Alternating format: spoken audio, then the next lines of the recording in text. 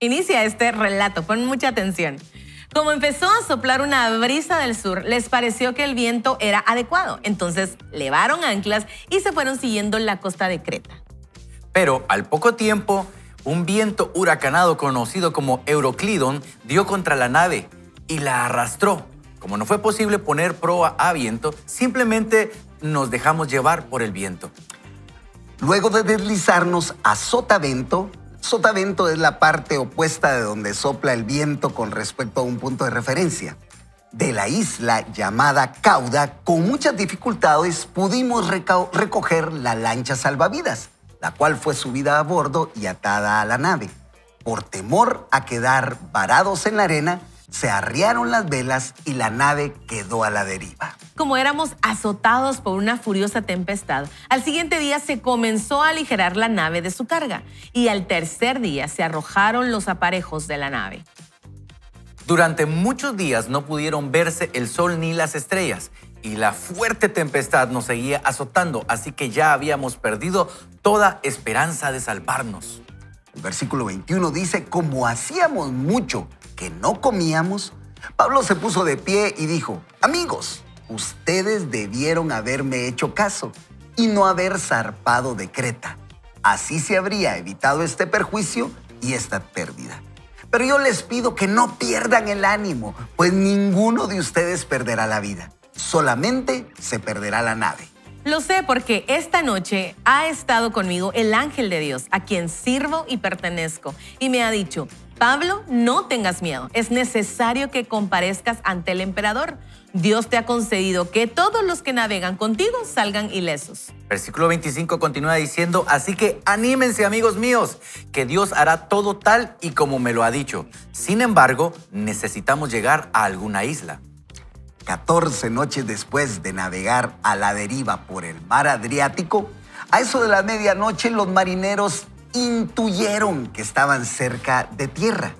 Así que echaron la sonda y esta marcaba una profundidad de 20 brazas. Más o menos 20 brazas son como 37 metros. ¿Se puede imaginar usted esa profundidad? Y continúa diciendo, un poco más adelante volvieron a echarla y ya marcaba 15 brazas. Es Ante el temor, ¿ah? 27 metros más Ah, o o, sea, es menos. bastante. O sea, ya iban como que reduciendo el espacio y por supuesto cada vez se iban acercando más a, a tierra, A ¿verdad? tierra, buenísimo. Ante el temor de dar con algunos escollos, se echaron cuatro anclas por la por- proa, esperando con ansias que amaneciera. Algunos marineros trataron de huir de la nave y aparentando que querían soltar las anclas de proa, echaron al mar las lanchas salvavidas. Miren los Pero. Pablo les dijo al cinturón y a los soldados, si estos no se quedan en la nave, ustedes no se podrán salvar. Entonces los soldados cortaron las amarras de la lancha y las dejaron que, y se- y dejaron que ésta se perdiera. Comenzaba a amanecer cuando Pablo los animó a comer y les dijo, ya van 14 días que ustedes están en ayunas y en compás de espera. No han comido absolutamente nada. Yo les ruego que coman algo para mantenernos sanos. Tengan la seguridad de que no van a perder ni un cabello de su cabeza. Dicho esto, Pablo tomó el pan y dio gracias a Dios en presencia de todos. Luego lo partió y comenzó a comer. Entonces todos se animaron y también comieron. Lo que estábamos, en los que estábamos en la nave éramos un total de 276 personas. Ya satisfechos, se aligeró más la nave y se arrojó el trigo al mar. Al llegar el día no reconocieron el lugar, pero vieron una ensenada que tenía playa y acordaron hacer el intento de encallar allí. Soltaron las anclas y las dejaron en el mar. Soltaron también las amarras del timón, izaron al viento la vea de proa y se enfilaron hacia la playa. Como encontraron un lugar de dos corrientes, hicieron encallar la nave. Allí la proa quedó inmóvil y enclavada en la arena, pero la violencia del mar hizo pedazos la, pro- la popa. Entonces los soldados acordaron matar a los presos para que ninguno tratara de fugarse nadando. Pero el centurión quería salvar a Pablo, así que les impidió su intento. Y ordenó que los que supieran nadar fueran los primeros en echarse a la mar para llegar a tierra y que los demás usaran tablas o algunos restos de la nave. Fue así como todos pudimos llegar a tierra y salvarnos. Miren qué relato más extraordinario este y cuántas veces no hemos pasado por este pasaje. Yo lo he leído muchas veces, ¿no, El Carol? Y como siempre menciono acá, la Biblia no es una serie de historias desconectadas. Ustedes, cada historia, cada personaje señala a un personaje que es más grande y es a Jesús. Y esta no es la excepción, fíjense, porque precisamente yo investigaba que eh, era importante tener una narrativa de este caso para que pudiéramos ver que Pablo había puesto su esperanza en Jesús. Pablo había eh, experimentado tantas cosas en su conversión, en su forma de escribir, en su forma de compartir el Evangelio con otros, en la forma de hacer sus viajes misionarios y en este caso que iba como preso, ¿verdad? Para ser juzgado ante, ante un gran juez. Y esto lo llevaba definitivamente con un ánimo diferente. Yo no sé, cuando uno va a disfrutar de unas vacaciones, cuando uno va con un ánimo diferente, pero Pablo iba para ser juzgado. Él iba preso, él iba amarrado, pues. Entonces, la historia nos muestra un poco eh, de cómo él pudo adelantarse a los eventos porque habló con Dios antes. Y cuando él pudo tener esta conversación con el Señor, él le mostró de que iba a suceder un desastre. El barco iba a hundirse, probablemente iba a pasar algo, pero ninguno se iba a perder. Lo que iba a suceder es que eh, iban a lograr llegar a tierra firme y iba a suceder algo importantísimo. Iban a tener esa esperanza de saber de que al entregar su vida a un ser más grande, al escuchar la voz de Dios a través de un mensajero que era un preso común y corriente como los demás, iban a ser sensibles a esa voz y saber que cada instrucción era importantísimo para ellos. Y eso es lo que a mí me trae a colación esta historia y me motiva para entender del por qué está escrito cada una de estas narrativas y cada una de estas historias. Yo no sé qué piensas tú, Carol, pero a mí la historia me deja como una producción de esas de, de las mejores plataformas de streaming, ¿verdad? Para saber qué pasó exactamente. Qué narrativa. Y la verdad es que es... es eh, creo que es de las pocas veces que Pablo cuenta algo tan detallado. Así es. Entonces, definitivamente eh, Dios quiere que le prestemos atención a, a, estos detalles de por qué Pablo escribió tan detalladamente esto. Y yo no sé, al final no se dice si estas personas que iban en el barco creyeron, se convirtieron al Señor, pero me imagino que al ver la fe de Pablo, al ver que en realidad sí era cierto que Dios lo salvó y Dios lo llevó a tierra firme, alguno de ellos o todos dijeron, en verdad este hombre es seguidor de, Jesús y queremos vivir eh, como Él vive siguiendo a Jesús. Pero a mí algo que me llama la atención es que Pablo está en una dificultad y en esa dificultad se mete en otra dificultad, ¿verdad? O sea, casi que le está lloviendo sobre mojado literalmente. Pero saben, cuando tenemos una palabra de Dios, cuando Dios nos dice, yo voy a estar contigo, va a venir la prueba, pero yo no te voy a dejar. Si nosotros tenemos en el corazón y creemos, Salmo 23, podría estar viniendo dificultad sobre dificultad. Y eso no quiere decir que cuando Dios nos hable, entonces todo va a ser color de rosa, todos vamos a caminar en ese valle lleno de florecitas. No, en el Salmo 23 habla también de ese valle de la sombra y de la muerte. Pero ¿qué dice? Yo voy a estar contigo. Entonces, querido amigo, tal vez has recibido una palabra de Dios, has recibido un plan de parte de Dios, has recibido un sueño de parte de Dios y al venir la prueba, al venir esas dificultades, al venir esa tormenta como a Pablo le está sucediendo en este momento de, de la historia, podríamos caer en el error de decir, entonces esto no era de Dios. Yo de plano que esa noche comí frijoles y no estaban muy buenos, entonces soñé o pensé algo que no era así. Pero cuando Dios nos da una visión, cuando Dios nos da un plan, cuando Dios nos traza un camino, no quiere decir que todo se va a llenar. Al contrario, muchas cosas se van a oponer definitivamente y eso es lo que le está pasando a Pablo. Pero él cree que Dios está con él e incluso Dios es tan misericordioso que manda, dice, eh, eh, en el versículo 23, lo sé, o sea, sé que Dios nos va a salvar porque anoche ha estado conmigo el ángel de Dios, a quien sirvo y pertenezco. Esa es una confianza total en que Dios está con él, Dios lo va a librar y si Dios le dijo, vas a hacer esto, Dios no se va a arrepentir, Dios no miente. Entonces, querido amigo, si tú tienes una palabra de Dios, yo quiero invitarte a que creas creas que Dios está contigo y vas a ser llevado a ese puerto seguro, pero tienes que caminar en fe. Tienes que creer la palabra de Dios y caminar en fe y enfrentar cada una de esas tormentas sabiendo que Dios va contigo cada paso del camino. Y es curioso lo que estás leyendo porque me iba a invocar cerca de ese, de ese pasaje bíblico. Fíjate, Carol, porque me gusta un versículo antes dice, pero yo les pido que no pierdan el ánimo, pues ninguno de ustedes perderá la vida, solamente se, perderán, se va a perder la nave. Y me recordó, les quiero contar que el día ayer me pasó un incidente. Y me, es para, yo me empezaba a reír porque fue curioso. Iba, eh, como todos los humanos en Guatemala, iba con un poco de prisa porque uno dice, bueno, tengo que salir a tal hora porque por el tráfico y ustedes ya saben. Y no me di cuenta que dejé las llaves del carro prendidas. Oh. Y se echó llave. Entonces, a mí me pasó lo mismo. Mucho tiempo de que no me pasara eso. Si algo nos pasa, no es coincidencia. ya tenía mucho tiempo de que no me pasara eso. Y yo le digo, tengo que llegar a tal lugar, tenía una reunión. Pero en ese momento, eh, al lugar de enojarme, yo dije, ah, bueno, voy a, voy a reírme mejor porque me dio risa de ver la llave colgada. Dije, ¿a qué hora se me ocurrió eso? Pero llamo a mi esposa y le digo, mira, eh, vas a tener que venir por mí a traerme porque tengo que ir. Cuando me doy cuenta, miro hacia donde está dentro del carro y cuando veo, ahí está mi billetera, está todo. Dejé, tú dije, aunque me vengan a traer, ahí están todos mis documentos. A lo que voy es esto. Mi esposa me dice, bueno, de algo te está librando el Señor. Así de sencillo me lo dice, ¿verdad? Ahí hablamos luego. Me dejó así con la, con la, ah, la lucecita de eso. Y entendí que sí, muchas veces estamos en esos momentos como aquí dice, ah, cobren ánimo. Hay momentos tal vez como esto que a mí me pasó, que a lo mejor tú te vas a reír y vas a decir, ay, sí, por eso. Pero a veces son cosas que te pueden quitar eh, la paz, te pueden quitar eh, el, el disfrutar la vida.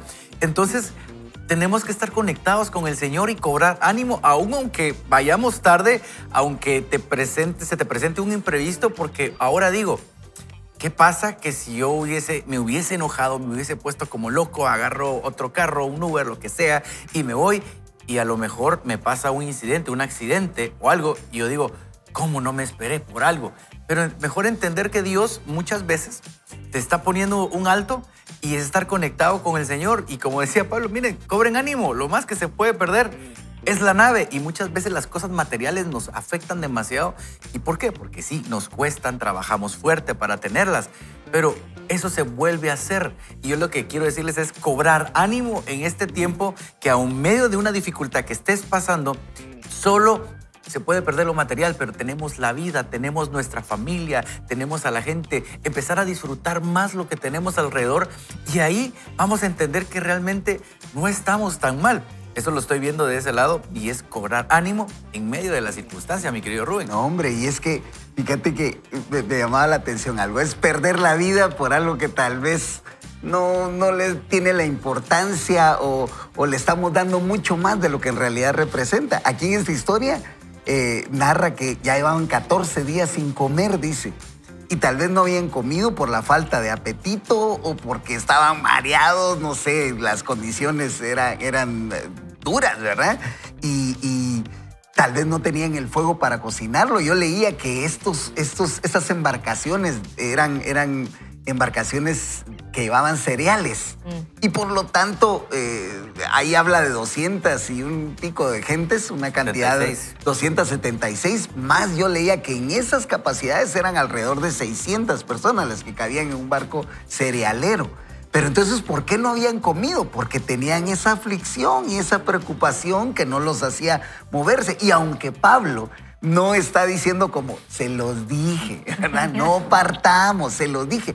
Él lo único que está haciendo es tomando una referencia prudente para inducirlos a aceptar otro consejo. Y es cabalmente lo que vos mencionas, no perdamos el ánimo no perdamos el aliento, sigamos siendo fieles a lo que el Señor nos ha dado como promesa. Y ese es el regalo que nos da, el aprovechar esas promesas, tomarlas para sí y saber de que si Él nos lo ha dicho en oración, nos lo ha confirmado a través de personas o de alguien más, es motivo para estar agradecidos, pues, ¿no, Carol? Sí, y, y, yo creo que quién mejor que Pablo para, para enseñarnos acerca de buscar esa oportunidad. Pablo encontró la oportunidad de evangelizar a estas personas. Sí, en medio de la tormenta, sí, en medio del dolor, sí, en medio de, toda esa incertidumbre que le estaba viviendo, encontró esa oportunidad de animar a otros, de evangelizar a otros. Y Pablo eh, siempre nos está eh, eh, motivando a esto. Es, es este palo mismo que dice en Filipenses 1.21, para mí el vivir el Cristo y el morir es ganancia. O sea, cualquier,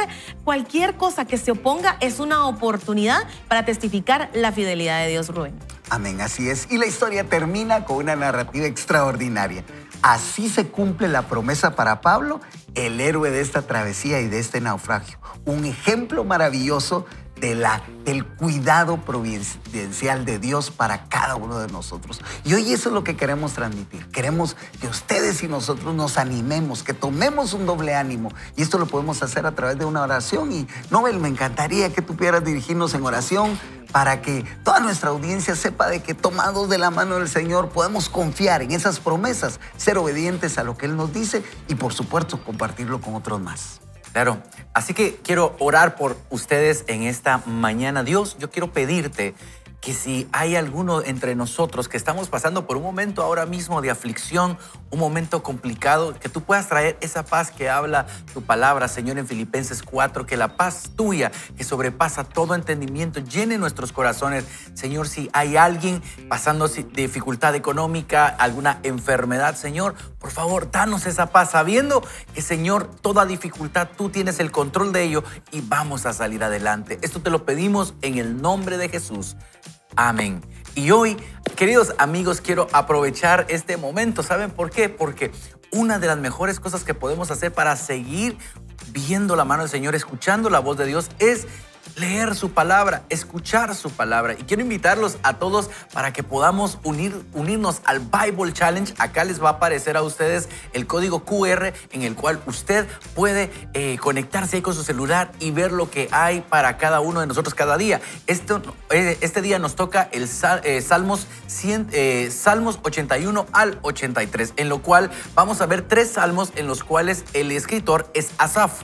Y vamos a ver cómo podemos adorar al Señor a través de los salmos. Creo que es importantísimo estar conectados con la palabra del Señor. Y no te preocupes, si tú dices, eh, yo ya todavía voy atrasado, no importa, únete con nosotros, eh, ponte al día con nosotros, no te preocupes. Lo importante es que puedas estar conectado a través de la palabra del Señor. Con taza en mano, con la bebida de su preferencia, lo invito a que se quede con nosotros, siga conectado y volvemos en unos minutos. Esto es Vaya con Dios.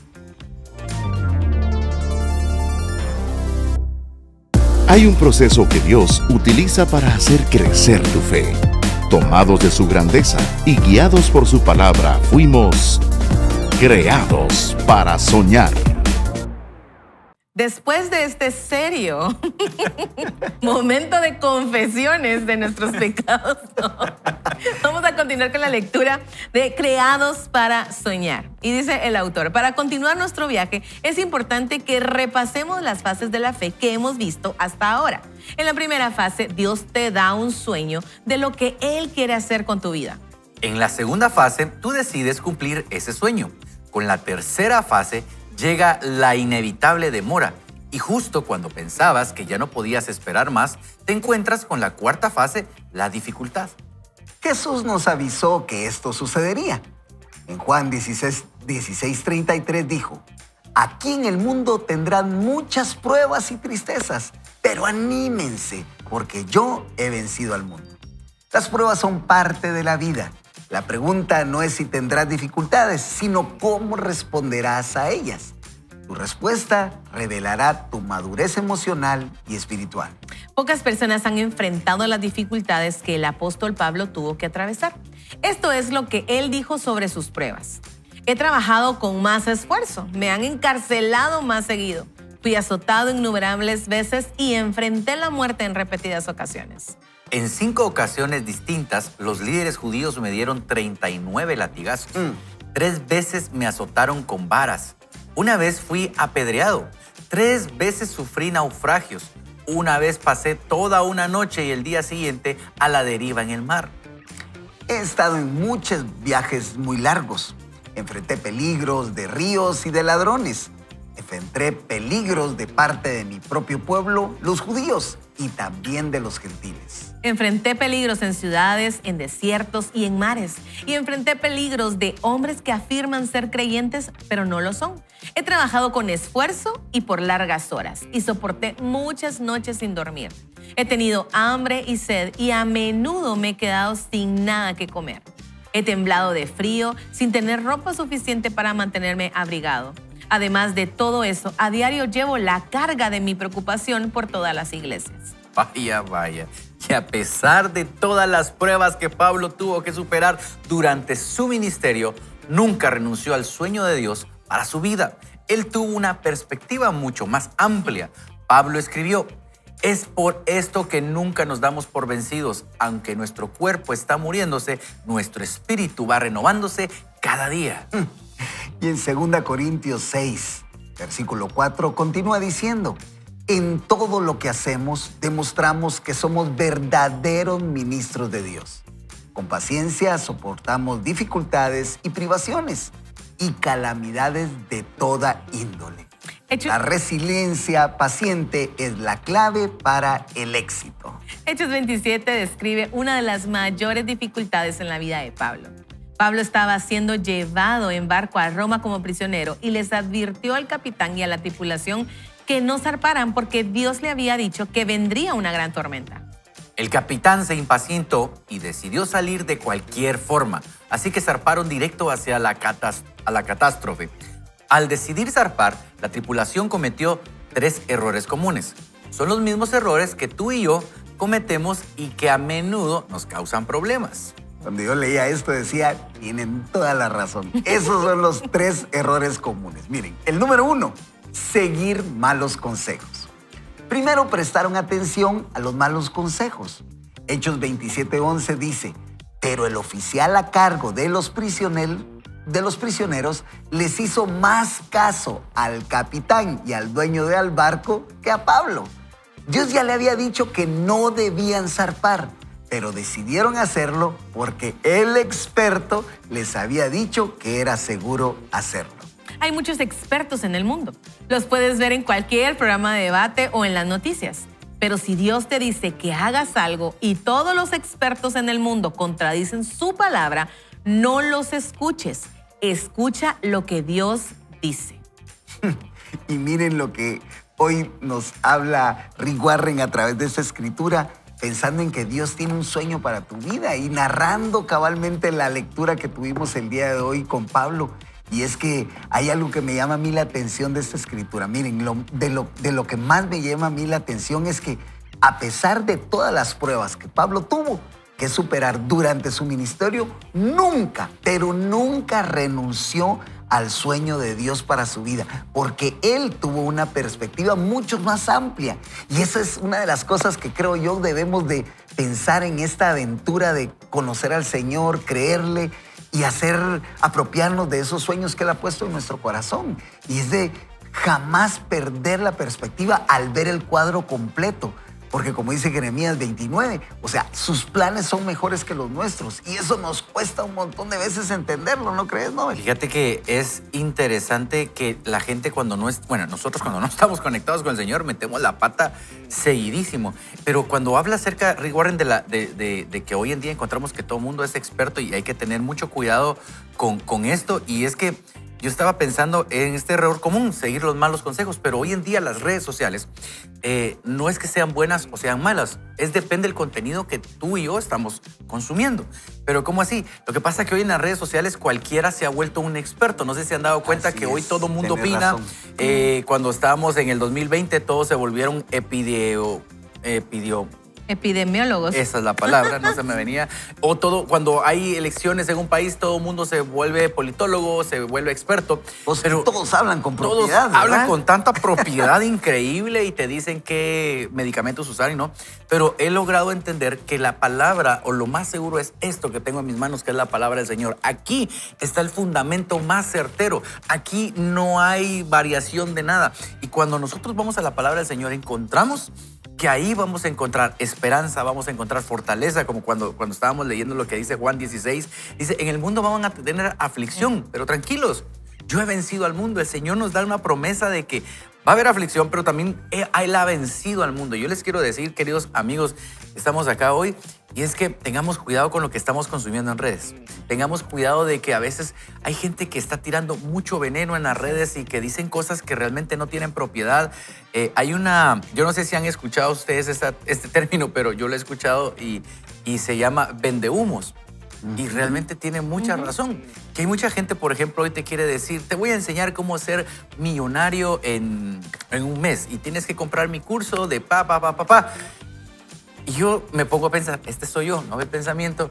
Yo digo, alguien, yo conozco gente que tiene mucho dinero y para hacer lo que tienen, créanme que no tienen tiempo para estar haciendo cursos, literalmente. Pero yo no estoy juzgando que, que pueda haber gente. Lo que estoy diciendo es que tenemos que tener esa perspicacia de saber en dónde estoy tomando material, en dónde estoy escuchando las cosas, ¿verdad? Con ahora que fue lo del eclipse, todo el mundo tenía una opinión que iba a pasar, pero la palabra del Señor, aquí no hay pierde cuando estamos en esto, aquí no hay para dónde ir, Carol. Aquí es lo más seguro y lo más confiable. Creo que es nuestro fundamento, porque en medio de las dificultades, Nobel y, y Rubencito, creo que nuestra mente empieza a, dar vueltas, eh, nuestra visión se nubla. O sea, la tormenta es una gran cosa y no queremos eh, subestimar mm, las tormentas que pasamos, que usted está viviendo, esos momentos de dificultad. De verdad no lo queremos subestimar.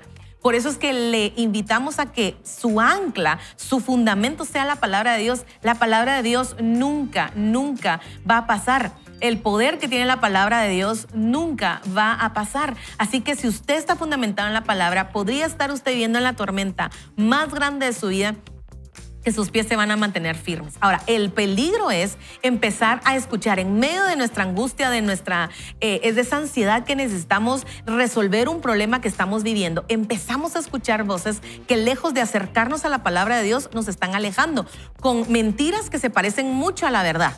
Yo honestamente he estado asustada de cuántas em, como ideologías acerca de la crianza hay pues para mí todo esto de, la maternidad es, todavía lo estoy descubriendo, muchas cosas, de verdad, usted me, a veces me cago los pelos y le digo, Señor, no sé qué hacer aquí en estos momentos. Y la tentación es ir a redes sociales, mm. es ir a contenido que parece muy, muy bueno, pero que Dios me ha llamado a filtrarlo todo a través de la palabra de Dios. Y algo que Dios me dijo claramente es, si este contenido anula o contradice algo que está en mi palabra, no viene de mí y te va a alejar de, la, de esa crianza piadosa.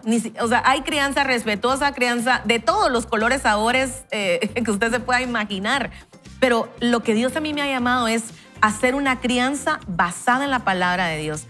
Así que yo quiero invitarle que no importa la tormenta que usted esté viviendo, Usted la va a solucionar, usted la va a atravesar, usted va a sobrevivir esa tormenta si sus pies están fundamentados en la palabra de Dios. Cualquier consejo, cualquier curso, cualquier terapia, cualquier cosa que esté fundamentada en la palabra de Dios le va a ayudar a usted a llegar a puerto seguro.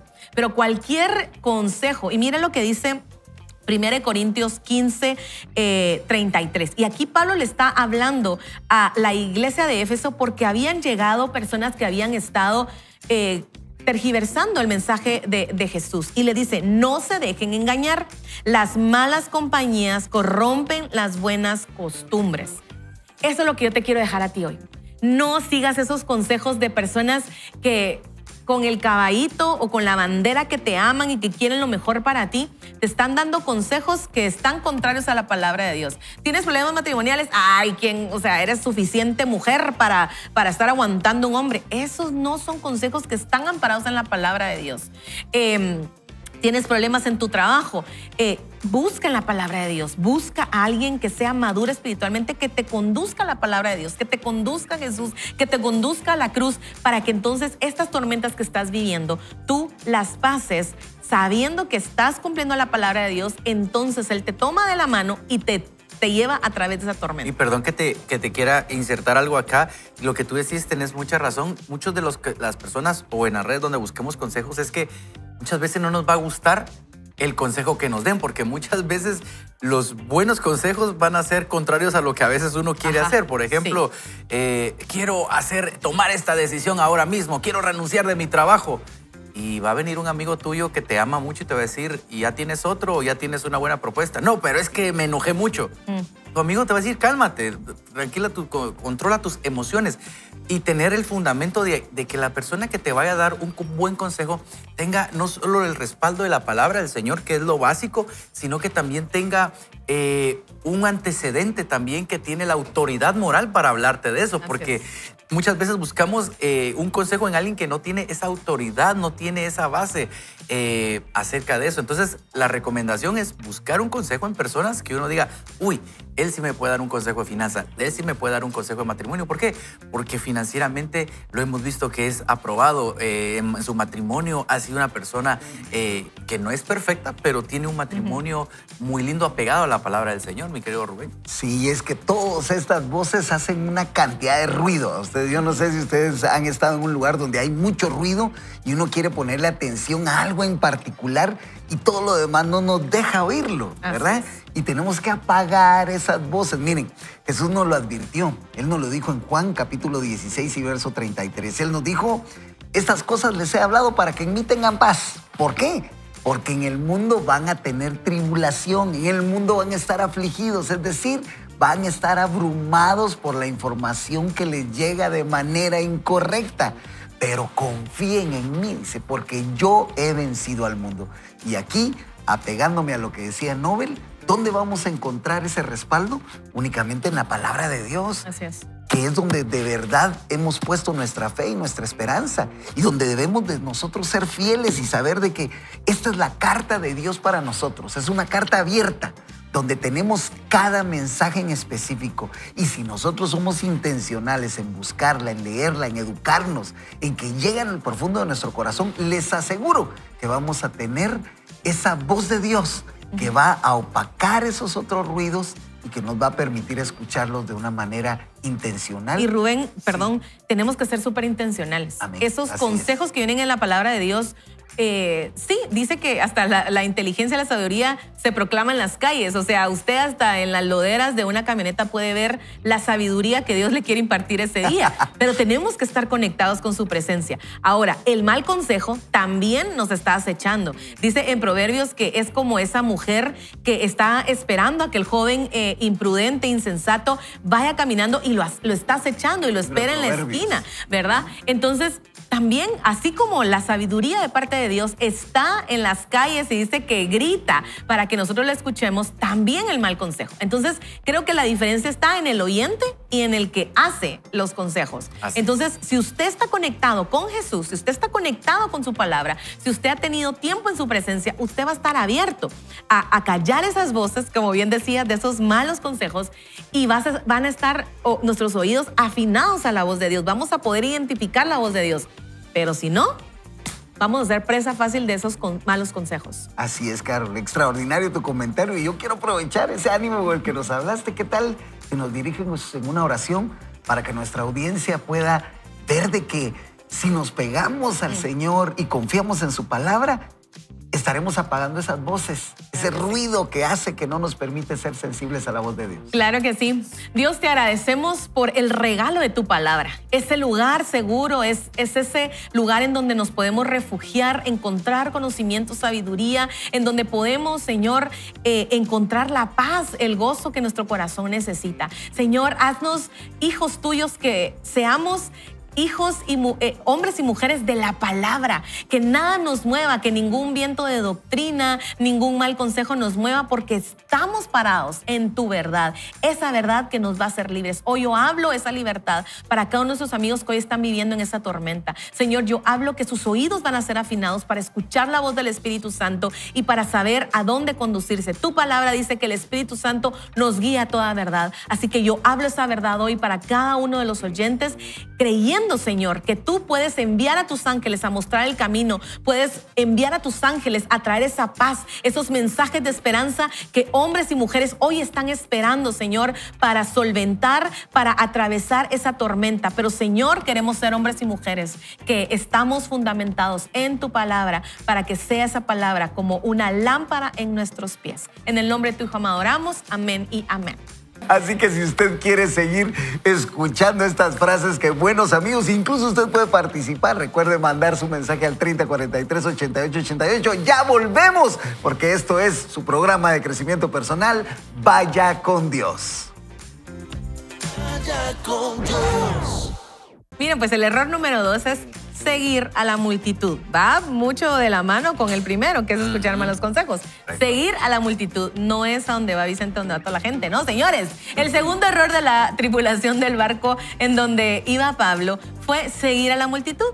Se dieron a la presión del grupo. En el barco habían 276 personas.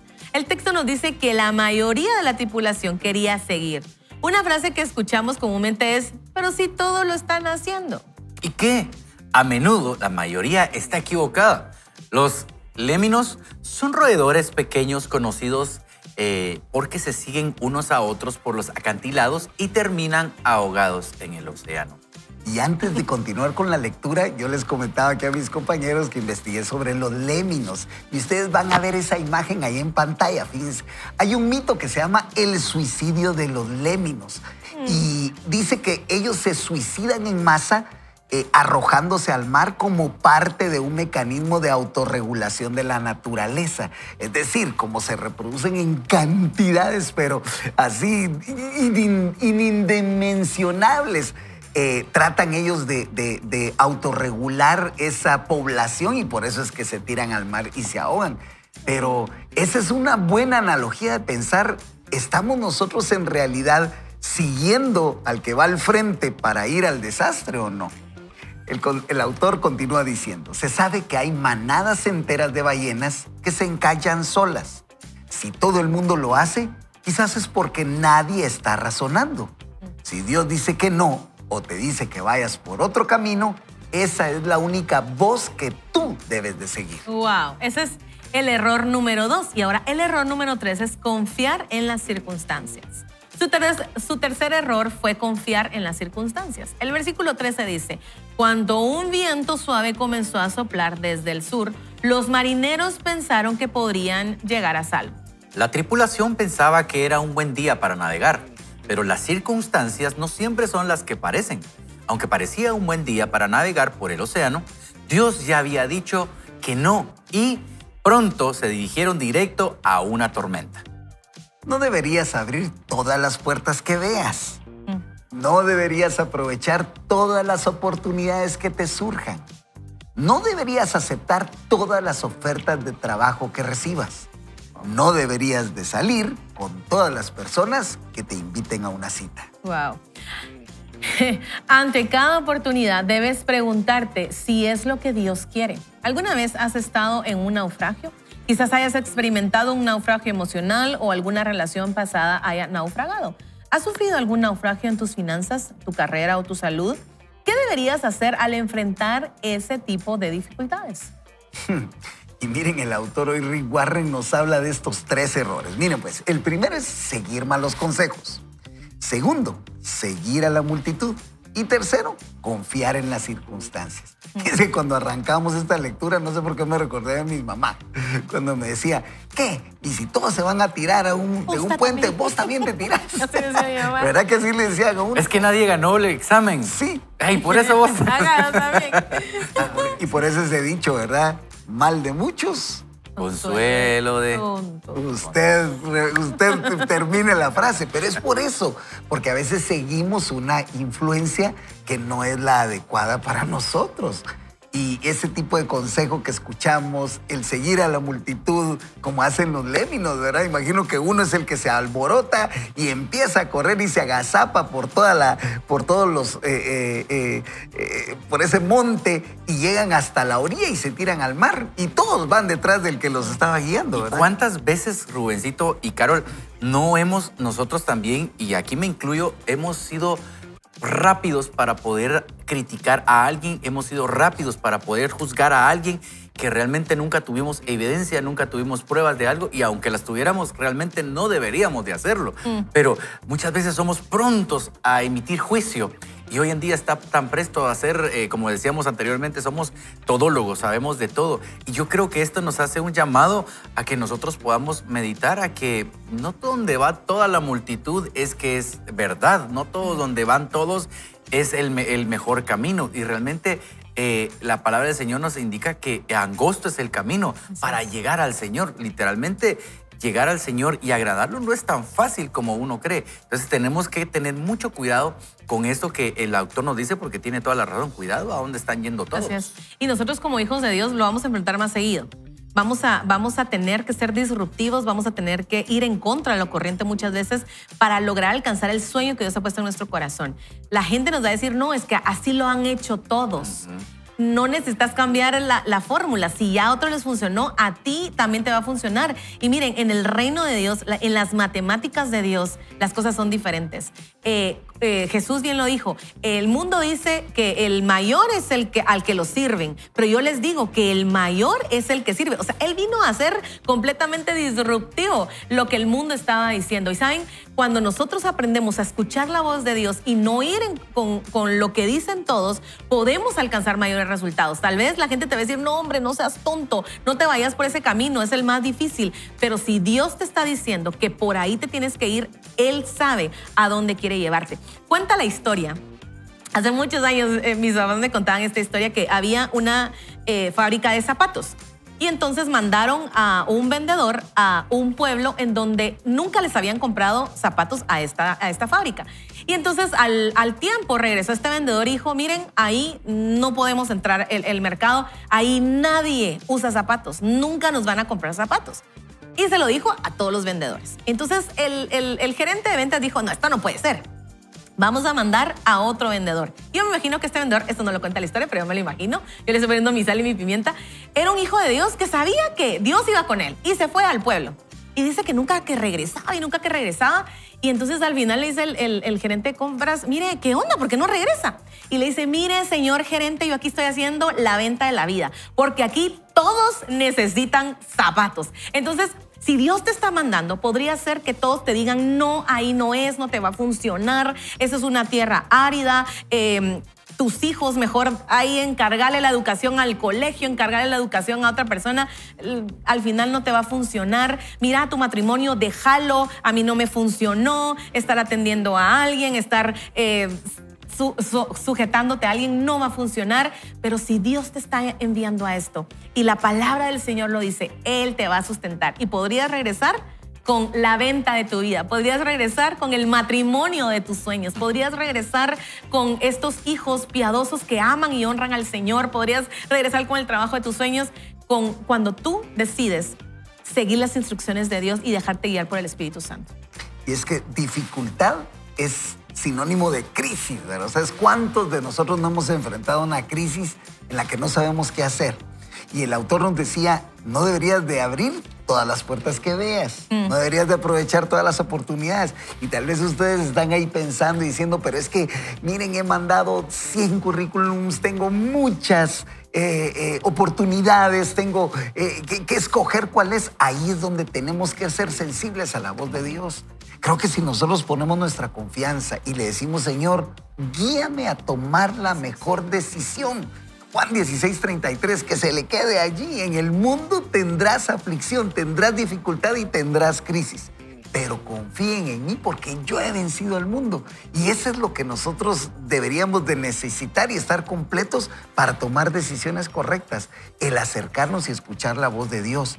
Y, e incluso si por alguna razón te sientes solo, te sientes abandonado y crees de que ya todo terminó para ti, yo quiero darte este mensaje de esperanza hoy. La Biblia nos indica que si nosotros ponemos nuestra fe en el autor y consumador de ella misma, que es nuestro Dios, que es Jesús hecho hombre y es el Espíritu Santo que habita en nuestros corazones, les tengo por seguro que al ser sensibles a esa voz, Él nos dará las instrucciones correctas y es donde nosotros debemos de ser obedientes a esa voz. Así que permíteme que pueda llegar hasta ti este mensaje de que necesitamos tener esa esperanza puesta en Jesús, el único que nos puede hacer crecer nuestra fe, ¿no? Y mira, lo que estás hablando, yo estaba ahora mismo leyendo algo acá que yo no sé si a ustedes les pasa que las, las peores decisiones es cuando uno confía en sus circunstancias, lo que dice el autor. Literalmente a veces uno está por hacer un negocio y dice, no, hombre, es que el negocio se mira buenísimo, no, es que está baratísimo, hay que entrarle. Y eso nos lleva a no consultar a Dios. No, es que, es que esa oportunidad no, no me la puedo perder, es que me están ofreciendo eso en tal plataforma.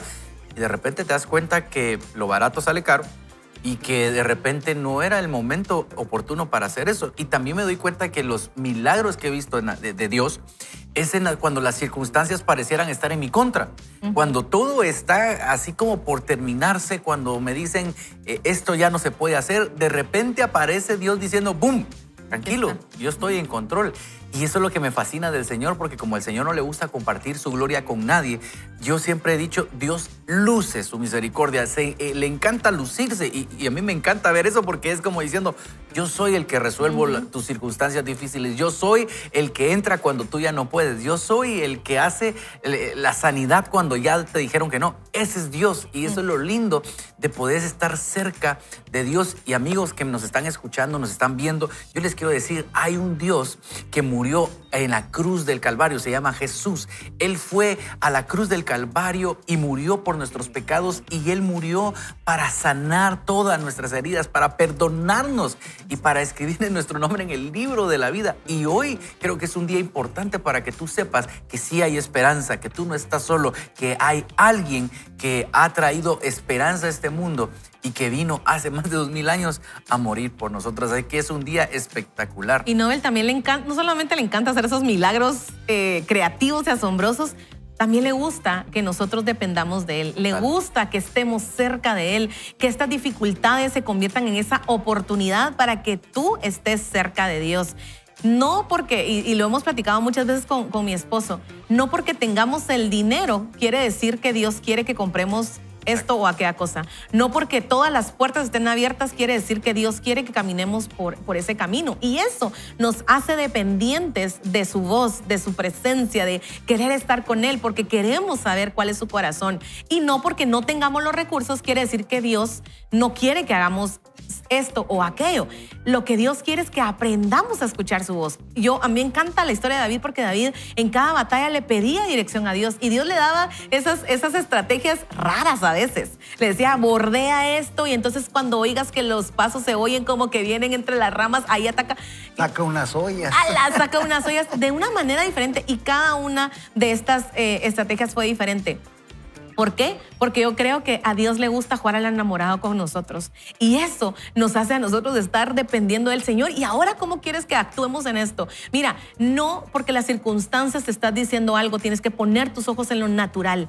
Dice la palabra de Dios que los que somos espirituales vemos las cosas espirituales, pero los que somos de la carne los que son de la carne ven las cosas en la carne, ven el ámbito natural y a veces ahí hay demasiadas dificultades, hay demasiados tropiezos, hay demasiadas tormentas. Pero cuando nos vamos al plano espiritual, al plano sobrenatural, podemos estar en otro nivel en donde Dios nos muestra que Él está con nosotros, que a pesar de las circunstancias, a pesar del duelo, a pesar de la pérdida, a pesar de las cosas contrarias, él está con nosotros y cuando Él da una palabra, no se arrepiente. Cuando Él da una palabra, no miente. Cuando Él da una palabra, no es, no es malo decirte, mira lo que tengo para ti, después te lo quita. No, Dios quiere, Dios te muestra y a veces nos da destellos de su gloria, del futuro, nos da destellos de esas promesas que Él quiere cumplir en nuestra vida pero necesitamos caminar en fe, necesitamos caminar en su palabra, necesitamos caminar en su presencia, necesitamos caminar dependiendo de esas instrucciones que Él nos va a ir dando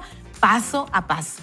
Y no ser presas de la desesperación, Carlos. A mí me hacía mucho clic lo que decías porque yo les voy a contar algo rápidamente.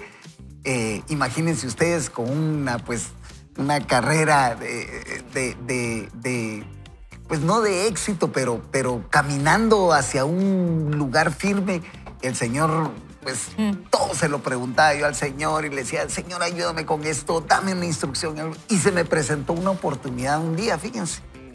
Y lo mismo de siempre, le hice la consulta al Señor. Pero esas respuestas no llegaban. No llegaba y el negocio estaba ahí. Incluso no le hice caso a, a esa sensibilidad de oír la voz de Dios, sino que escuché el ruido que había alrededor y estaba desesperado porque dije, ¿por qué Dios no me responde? Pero todo está eh, eh, armado para que este negocio funcione y, yo le había preguntado al Señor, pero la respuesta no había llegado. La respuesta no llegó en el momento oportuno. Y ese es otro indicador. Si la respuesta no llega es porque el Señor no te la quiere confirmar. Y saben, hice oídos sordos. Yo dije, la respuesta no ha llegado, pero todo está confabulando para que el negocio se dé. Y saben una cosa, desafortunadamente fui estafado, fíjate. Y ahí aprendí yo que debemos de tener ese oído mm. sensible a escuchar la voz de Dios y no desesperarnos. Si no hay una palabra del Señor que te lo confirme a través de una lectura, de un comentario de un buen amigo, de un mensaje incluso, de un programa de televisión donde el Señor te va a hablar, tienes que estar atento a esa voz. Porque si no, vamos a tener aflicción. Y Juan 16:33 lo dice.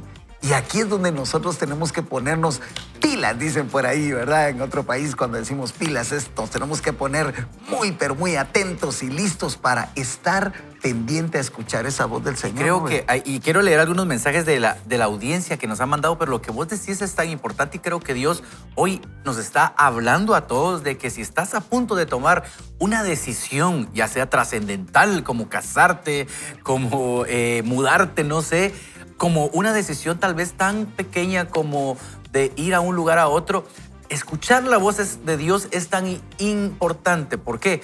Porque eso te va a traer paz. ¿Sabes una cosa? Yo he aprendido, Rubén y Carol, que cuando yo eh, escucho la voz del Señor y yo hago caso, ya sea un sí o un no, pero si hay un no de, parte de Dios, igual el respaldo de Dios está. Si hay un sí, el respaldo de Dios está. Pero cuando yo hago lo contrario, lo que Dios me dice, es como que Dios se quedará en el mismo lugar y así como cuando uno es de papá y uno mira a su hijo hacer lo que uno le dice y uno dice, bueno, va solo y te lo dije. Pero a Dios no le encanta eso. Dios le encanta que confiemos en Él en un no, que es una que Dios nos está guardando y aún sí saber que aún en medio de que pareciera que no es posible hacer las cosas, cuando Dios dice que sí, es un sí. Miren, y antes de, que oremos, porque vamos a orar, yo quiero dar un mensaje de esperanza. Porque tal vez alguien nos está escuchando y dice, los tres errores yo ya los cometí, pues, o sea... Hasta tengo un cuarto. Hasta tengo, un más. Y estaban viviendo tal vez la consecuencia de haber, eh, pues, seguido estos, estos eh, errores y tal vez tú eh, seguiste malos consejos, seguiste a la multitud, tomaste decisiones de acuerdo a las circunstancias, pero ¿sabes qué? Dios es experto en convertir nuestro dolor y cambiarnos esta vestidura por vestidura de gozo, de, danza, dice la palabra de Dios. Puede transformar esos valles de huesos secos en un ejército de, amor, de bendición. Ese, ese, es el Dios al que nosotros servimos, amamos, adoramos. Y yo quiero presentarte ese mensaje de esperanza. Si tú llegas con, con Jesús y le dices, Jesús, perdóname, quise tomar el control de, mi vida, eh, hice caso a malos consejos, confía en las circunstancias, seguía a la multitud, pero hoy te vengo a rendir este, estos errores, estas malas decisiones. Por favor, haz ese intercambio divino entre, entre mi pecado y, tu gracia, entre mi pecado y esa sangre que lo limpia, que lo sana, que lo restaura todo. Tú vas a ver cómo, sí, vas a, vas a tener que... Eh, eh, pasar esas consecuencias, pero ahí va a estar Dios contigo y entonces tu siembra va a ser diferente, tus decisiones van a cambiar y entonces vas a empezar a ver cómo empiezan a abrir esas cosas buenas a tu vida. Así que mucho ánimo, hay esperanza para ti. Amén. ¿Qué tal si oramos? Miren, y como bien dijo Noel, si ya cometimos un cuarto error y probablemente haya muchos más, ¿qué tal si juntos lo hacemos hoy y nos encomendamos a ese Dios que está pendiente de nosotros, que nos ha llamado por hijos, y que nosotros tenemos esa apertura y esa facilidad de llegar ante su trono de gracia, alcanzar su favor y su misericordia y encontrar ese oportuno socorro. Miren, la palabra es tan linda que lo dice de esa forma. Ahí vamos a encontrar el oportuno socorro, el ideal, el que necesitamos, ni más ni menos, el que necesitamos. Oremos juntos. Bendito Dios, gracias. De verdad, qué bendición, Padre, podernos acercar a ti y saber de que tú nos escuchas. Padre, hemos cometido errores al tomar decisiones, hemos sido desesperados. Tal vez, Señor, hemos actuado sin siquiera escuchar tu voz, como me sucedió a mí. Tal vez hemos estado esperando a lo que no llega, Dios, pero tú no lo dijiste. Y queremos, Dios, basarnos en esa palabra. En el mundo, en este lugar donde estamos, tendremos aflicción, tendremos dificultades, tendremos crisis, tendremos enfermedad, frustración, dolor, angustia. pero tu palabra es tan clara que dice que debemos de poner nuestra confianza en ti. ¿Por qué? Porque tú has vencido al mundo y esa es la fe que debe llenar nuestro corazón, llenarnos de esperanza y arrancar este día, esta semana, este tiempo, sabiendo que el tiempo tuyo ha llegado y es el tiempo perfecto de nuestro gran Dios. En el nombre poderoso de Jesús oramos. Amén. y Dios tiene cuidado de nosotros y en este programa lo que queremos hacer es animarlo a que usted siempre esté tomado de la mano del Señor y que sepa de que aún cuando usted se sienta solo, Él es más que suficiente para nosotros. Así que el mensaje final es, no vaya solo ni mal acompañado, vaya, con, Dios. Dios. Lo esperamos el día de mañana. Bendiciones y es un privilegio acompañarles.